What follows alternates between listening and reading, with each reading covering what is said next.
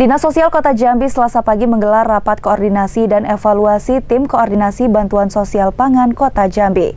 Rapat yang menjadi agenda rutin tahunan Dinas Sosial Kota Jambi tersebut bertujuan guna mengevaluasi dan mencari rumusan terkait hambatan yang terjadi selama penyaluran bantuan dilaksanakan.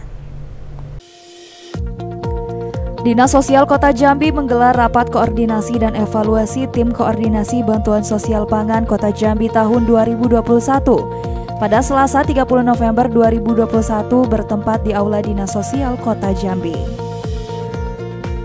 Kegiatan ini juga turut dihadiri mitra kerja Dinas Sosial Kota Jambi, yakni perwakilan Bolok, Bank BRI Cabang Jambi dan BRI Cabang Abunjani, Badan Statistik Kota Jambi, serta diikuti oleh para camat dan lurah di Kota Jambi dan para pendamping bantuan sosial Kota Jambi.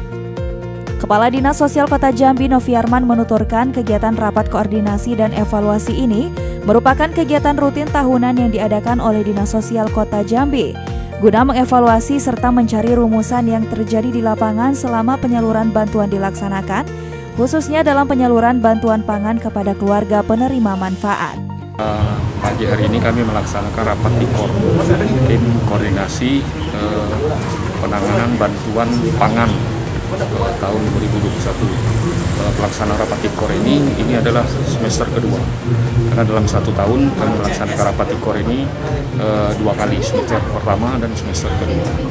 Uh, di sini hadir dari Badan Pusat Statistik Kota Jambi kemudian dari perwakilan Bulog perwakilan BRI kemudian camat dan para lurah dan juga para pendamping bantuan pangan sosial ini di dalam rapat tikor ini tentunya akan e, mencari e, rumusan terkait dengan permasalahan-permasalahan di lapangan e, terutama apa menyangkut masalah penyaluran bantuan pangan kepada para KPM keluarga penerima manfaat.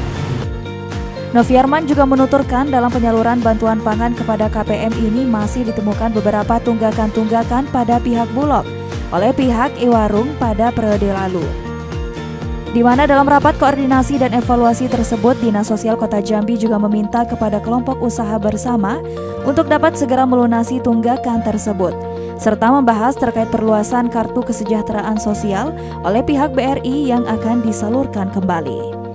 Lilis Karlina, Jack TV melaporkan.